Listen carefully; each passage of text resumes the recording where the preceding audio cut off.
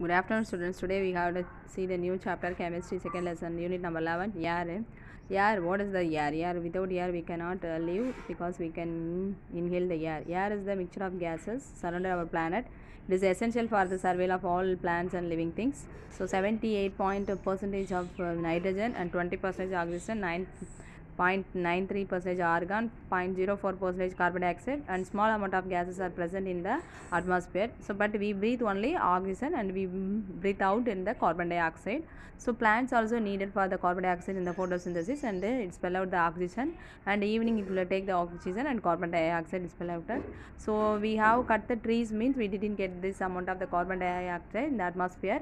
So, automatically we are cut the trees means and the carbon dioxide range will be increased in the atmosphere. So it is leads to the some other problems. Industries and vehicle release gases like carbon monoxide and sulfur dioxide in the atmosphere. The gam- it has resulted the effect of the like global warming and the acid rains which affect in the many ways. Okay. So the quantity of the gone in the modern days in the lessons we are going to study about the effect like greenhouse effect and global warming and uh, what is acid rain everything we have to study in the lesson. First we can see the oxygen all living things in the world need oxygen. We cannot image imagine the world without oxygen. Okay wow. So in the year of the um, swedish um, chemist mr cw Scheele uh, discovered oxygen in the 772 he called the gas fire in the vital life because it was found to support the process of burning. It was uh, independently discovered by the british scientist joseph priestley in the 1774 and oxygen is the very lowest named. The name oxygen comes from the greek word only oxygenase which uh, means acid producer. What do you mean by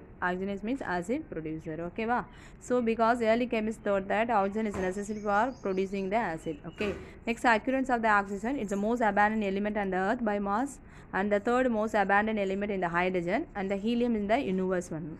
So it occurs both um, in the free okay.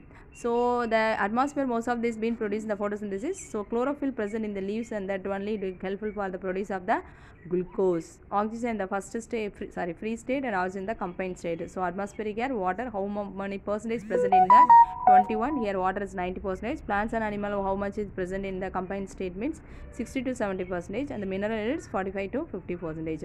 So the uh, important formula 6 co2 plus 6 h2o carbon dioxide and water and the energy from the what will be converted into c6h12o6 it is a glucose. What is this? C6h12o6 it is a glucose. 6 water oxygen okay well, it is a it combined state in the present. And oxide is the also found in the water and surface of the earth. So see this is the percentage of the element in the earth crust see the percentage element how much of the oxygen silicon. The color it's the blue color is oxygen and um, red color silicon that sandy color is the this is the 8.1 percentage and iron calcium sodium potassium magnesium. So nothing other gases will be that present in that. What are the physical properties of the oxygen? It's a colorless odorless tasteless. It's a poor conductor of the heat. It is dissolved readily in cold water. It is denser than air. It is made of liquid high pressure of low temperature. It support a combustion okay. So next class we will see the chemical properties of the oxygen. Okay. Thank you students